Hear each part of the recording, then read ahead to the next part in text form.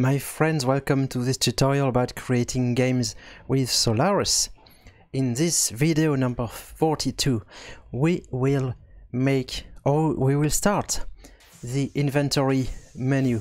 So, uh, so far, when you pause the game, which you can do by pressing by default the keyboard key D, it just freezes your hero and actually sometimes it can be hard to understand that the game is even paused when you press D accidentally. It also stops the enemies and uh, basically everything on, on the map, except animated tiles, by the way. You can see that the water tiles are still animated, but that's a small detail. Um, so what we want to do is, uh, rather than this default pause mode that does uh, absolutely nothing, we want to display a menu and this menu will be a small inventory grid that will allow the player to select items and to assign them to item keys. Um, so we will probably need multiple um, tutorials to cover all of that because there is a lot to do. But, but the first thing to know is that um, there are some events in the API on, on your game um, you can be notified when the player pauses the game. So which means by pressing the pause command which is D by default uh, with the keyboard. And similarly when the player tries to unpause the game then you need to close your pause menu. So yeah we will create or we will start more exactly a pause menu when we uh, yeah when the game is paused by the player and we will stop that menu when the game is unpaused. Okay, so how do we do that? Um, one place to trigger these is in your game manager script. The inventory itself will be um, a menu created by another script that we will write. But from game manager, we'll call that script. So let's require that script that we haven't written yet. And we call, can call it pause menu builder because actually it will be a script that creates and returns a pause menu. So let's call it pause pause menu builder or just pause menu maybe. Um yeah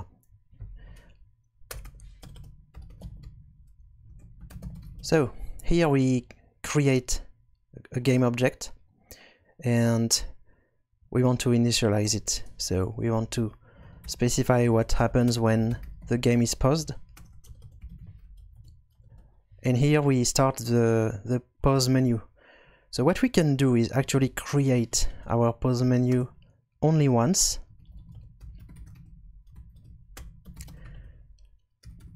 And to do that, our pause menu builder script will provide a function create and it will need the game. Um, basically you will see why it, it needs the game but basically um, it will display an, an, inventory grid with the items that the player has so it needs the game to know which items you have or not. Um, okay so this script will basically be a big function create that uh, returns the menu the pause menu. And then we can just start our pause menu with the usual menu API that uh, we learned in previous tutorials. Uh, the first parameter should be the context so the game which means that if the game ever stops the pause menu will also be stopped so we are safe. And similarly, when the game is unpaused, sol.menu.stop pause menu.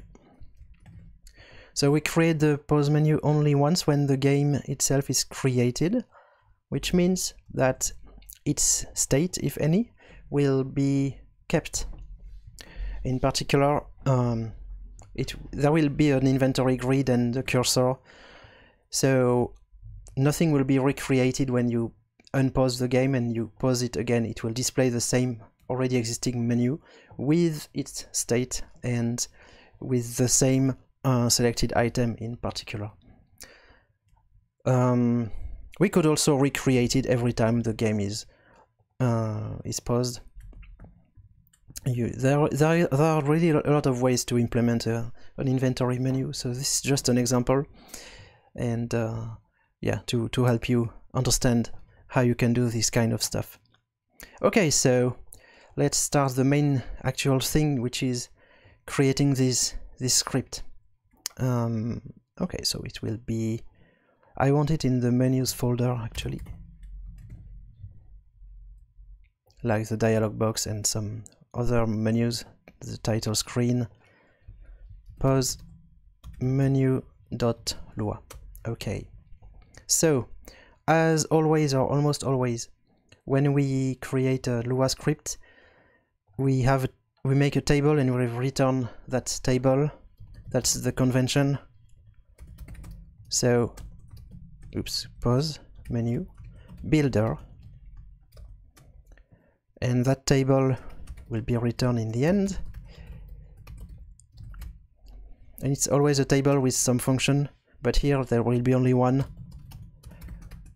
And it will be a function that creates and initializes the pause menu. So let's call it create, and as I said, it will need the game. Okay, so what does it do? It creates a menu. We call, can call it pause menu. Uh, remember that there is no actual real menu type in Solarus API currently. It's just a table actually, which is a little bit different from the rest of the API. And okay, menus mostly have one function. It's on draw. Oops, pause menu on draw. One event more exactly. So it's a function, a regular function that will be called by the engine as, as long as the menu is active. Uh, so at every frame you can draw things. And what do we want to draw? We want to draw basically this grid of squares. And uh, yeah, let's do that. So let's create a square surface. Um, square img we create a surface with some square size and my square size I want it to be 24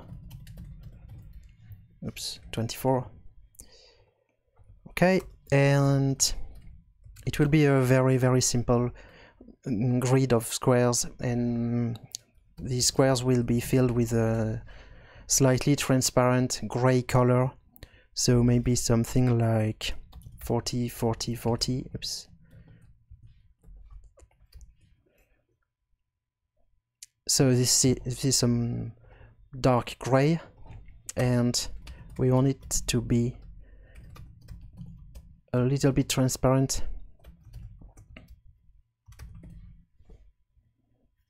Something like that. And okay I want I want to test this code already even if it doesn't do much.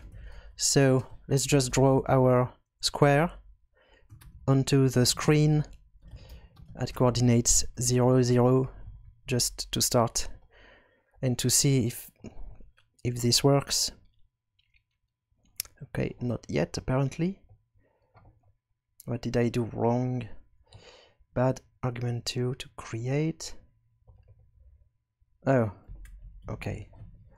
I need the width and the height, so it's square size and square size again. Cool, so I just press D and now I see my square.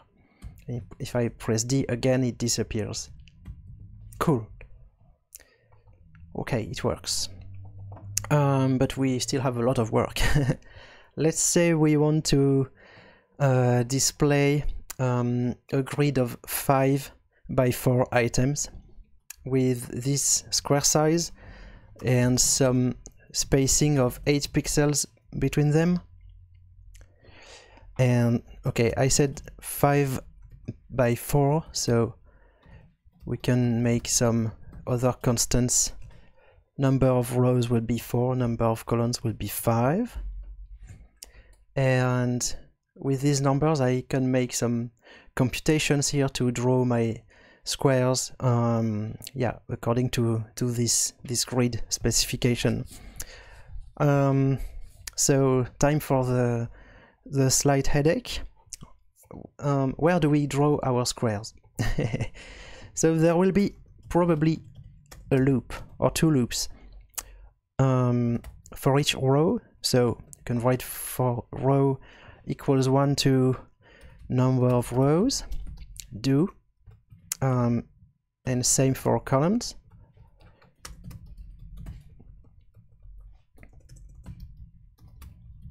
so I will always reuse my square EMG IMG I don't have of course to uh, create um, 20 surfaces here.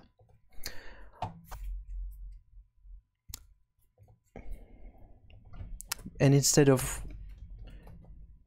displaying it at 0 0 I will display it at some dst x and dst y coordinates which can start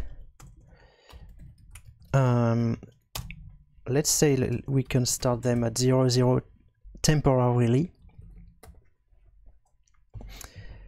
So every time I wrote a column uh, every time I, I I drew uh, yeah the square for one column I should increase dstx by uh, the size of my square plus the spacing.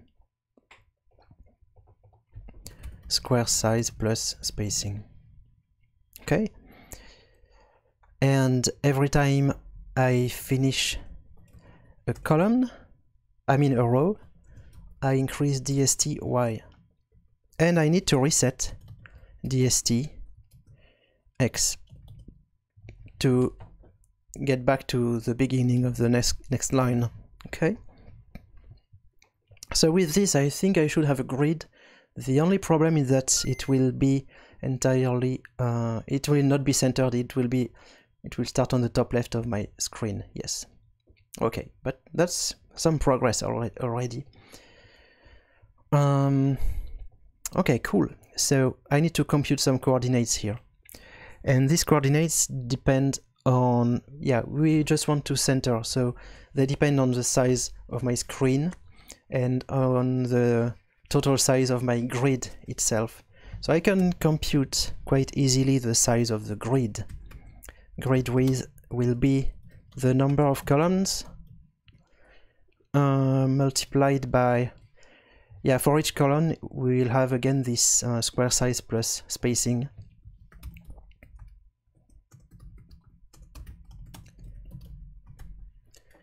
Uh, minus one spacing actually because the size of my grid is um, yeah five times the columns I mean five times the size of the square but there are only four holes here, if you will.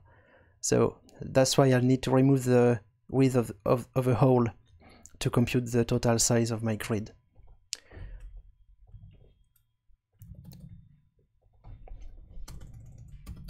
Oops, so grid height similarly will be the number of rows and then the same thing. Okay, so we have the width and height of the grid. Now we just need the width and height of the uh, of the screen which is um, we can call this quest width quest height and we have a function to get these once for all sol.video.get quest size. Um, we could also do dst surface get size. But here we are um, actually in the in yeah in this part of the script we we don't know yet the dst surface. Uh, okay cool So with this I can initialize let's say initial x, initial y. I can compute these based on these sizes. So initial x in um let's say initial DST x to be more precise. Destination x and destination y will be. Um okay it's half of the screen minus half of the grid. That's how I can center my my grid. Um, if you don't agree take take a piece of paper try to write these coordinates and you will see that this should work. And oops here when I switch when I go to the next row I need to restore DSTX uh, not to zero of course but to initial the STX and with this I think we should be good. Okay so all I did is draw a grid so far but there are no items no cursor so we still have a lot of work. Um, but one thing slightly useless that we are doing is that every frame we are doing these two loops and we are drawing ever uh, yeah we are drawing all the time the exact same thing which does not depend at all on the uh, state of the game. So we could do that earlier like only once we could do uh, a grid surface whose size will be grid height. Or the si size of the screen actually. Well actually it could be simpler if I do grid width grid height. Again there are a lot of ways to do this kind of stuff um, and let, let's put this in in some grid in some separated function.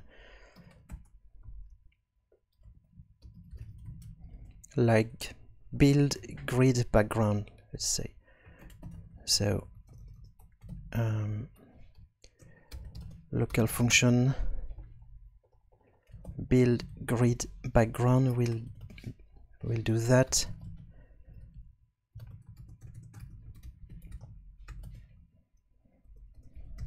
then all this code.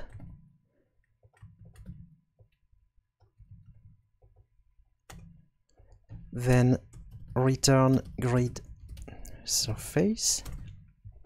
Cool. So I create this only once at least yeah once per pose menu. We could all, we could even do it um, outside the, the the menu creation it really doesn't matter So grid surface, we want to draw this on the screen.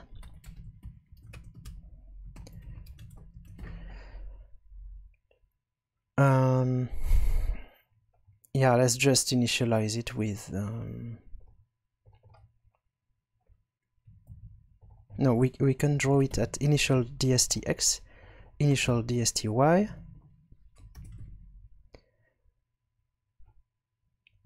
and it's it means that I no longer need this here. That's why I said it it can simpl simplify things.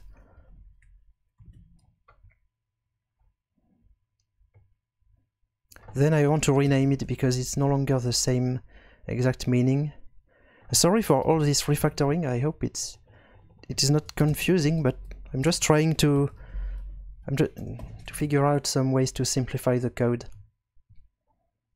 So this builds a surface uh, that does not have the size of the screen, but the size of the grid.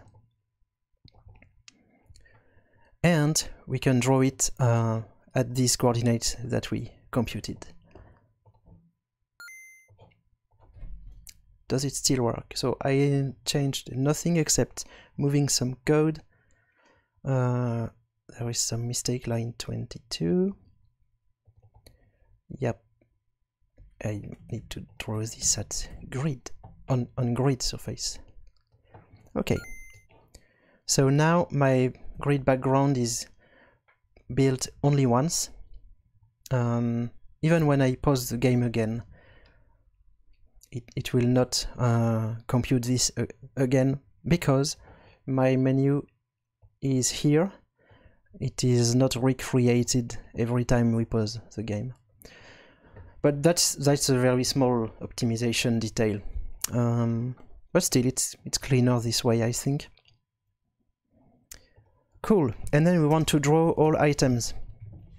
Mm, maybe we will do that in some function, some separate function. Draw items uh, onto the surface and this function will need the game. Local function draw items.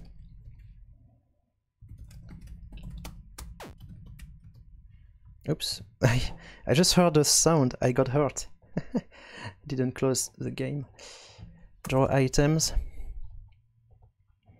Uh, so the question is which items? So maybe we will start the file with a list of item names that we want to to have in this in this inventory.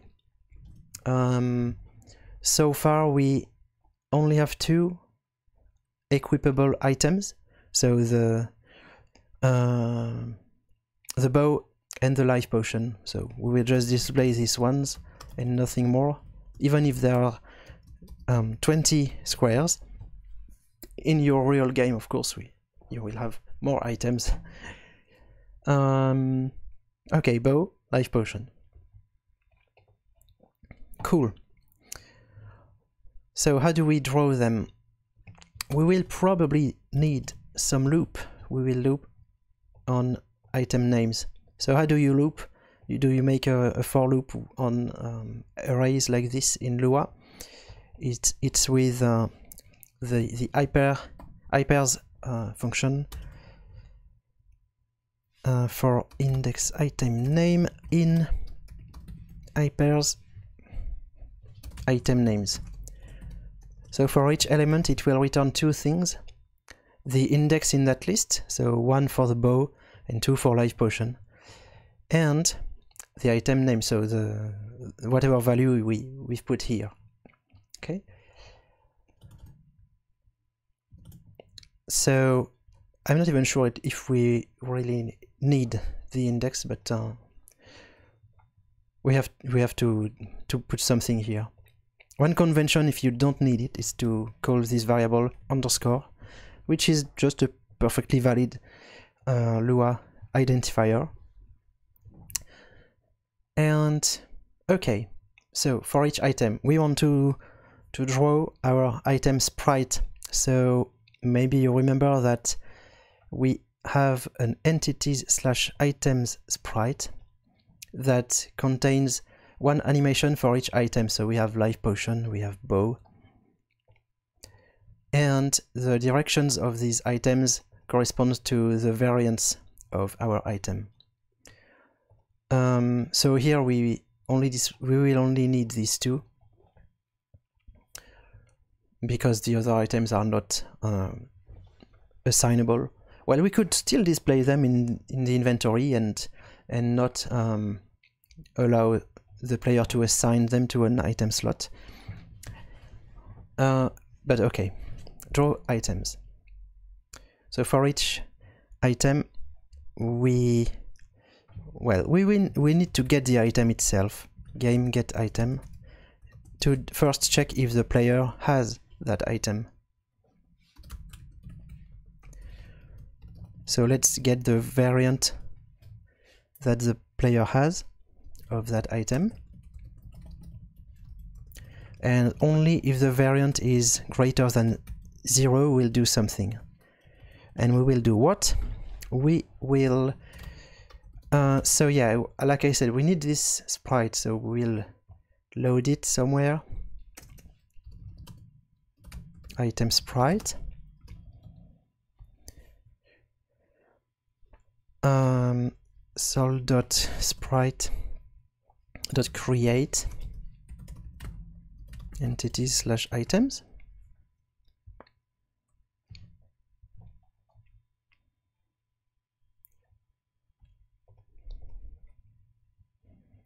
Um, yeah item sprite set animation. The name of the item is also the name of the animation and the direction is the variant actually the variant minus one because direction start at zero here. And that's pretty much it. We can then draw our item onto DST surface. Um, yeah, let's draw them at some bad coordinates first, just to test.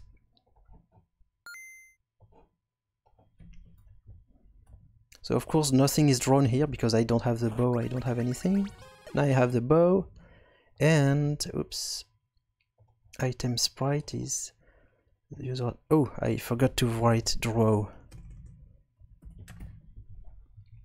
Sorry about that. Let's pick the bow again. Okay, uh, so I have a slight piece of the bow here displayed at 0, 0. I don't even see the bow entirely, and that's because the origin of this sprite is usually um, 8 by 13 here. So I only see... So yeah, this point here is displayed at 0, 0 of the screen. So I only see this little piece here. Um, so we will fix that and we will, um, more importantly, fix the, yeah, display the bow on, on the correct square of the grid. Um, so to do that we can again create some variables dstx, dsty that we initialize at, um, for instance, 0, 0 or grid x grid y and then um, yeah so we are this time we are looping over this list and not over rows and columns. But um, the idea will be pretty much the same. We just have to detect when we are at the end of a line to know if we need to increase x or y. So at the end of our loop, we can check if um, index modulo the number of columns is zero, it means that we are at the end of the line. Because index is one, so yeah, we do need the index. Index is one for the first one, and then uh, two, three, four, five. So if we have drawn the item number five, then this condition becomes true. 5 modulo 5 is 0. So we go to the next line, to the next row. So we do the same code as, as that and otherwise we increase the column and I think that's it. So here our draw items, at each frame we redraw items based on the game state, which actually is very unlikely to change during the pause menu. So one optimization would be to again uh, build the the item surface also only once when we um, when we start the pause menu. Not when we create the pause menu but when we start it. But that's a small detail. Um, okay, it's still not displayed at the correct coordinates because I've kept 0, 0 here. I need dstx and dsty. I also need to fix the origin issue. I haven't fixed it yet, but let's see before that fix what happens. So my bow is displayed, but again, uh, it, it only starts with this small piece here at the top left corner of the square of the grid. So how to fix it? Well, we can we actually know the the origin. We can we can get it. Origin x, origin y is uh, item sprite. Get origin. So it will give you the origin of the sprite in its current state. So with this animation and this direction. We just need to display it with this offset. And actually a little bit more than that because our item sprite is 16 by 16 but our square is a little bit bigger. We have some margin here. So it will be dstx plus origin x plus some margin. Uh, let's call it item margin. Oops. We could compute it. Um, but we can also hard code it here because all our items are always 16 by 16 so let's just hard code it to 4 but yeah this tutorial is long enough so I, I don't want to annoy you even more with all of these computations. Okay cool. My bow is now this time uh, perfectly centered in my square and if I get the life potion I also see it in the second square. Okay awesome. Um, we will stop for today. Um, this tutorial was uh, already uh, long enough. We I think we made the most annoying part of an inventory menu which is all these um, tedious um, computations. But uh, we will continue this next time with the more interesting things like um, adding a, a, cursor on our menu so that we can select items there. Maybe even display the names the name of the selected item. And allow the player of course to assign an item to one of the two item slots here. Um, and another improvement is that we will want to um, probably display the amount of the item here like we do in the HUD. Why not do it also in the inventory? Um, okay some other improvements are possible of course. You can do a, a, very much nicer UI here we are just displaying 20 uh, gray squares but you can have a nice background with some some picture of or anything that you want. And um, yeah also in real games you you have we you will have more than an inventory in your menu. You will have some something uh, with multiple subscreens probably and like an option menu a map menu and some other information about the game. So yeah everything is possible. This was just one example of how to to make a small grid and uh, put item sprites there but at least next time we'll add the, the cursor and the possibility to assign items to item slots. Thank you all for watching. Please join our Discord if you need help or if you have some cool ideas. And uh, see you next time. Bye.